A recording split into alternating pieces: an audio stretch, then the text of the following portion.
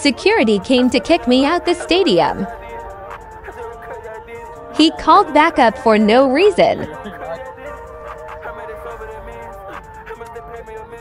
I said I will run the same route three times. If he can guard me, I leave. He actually lined up. Easy.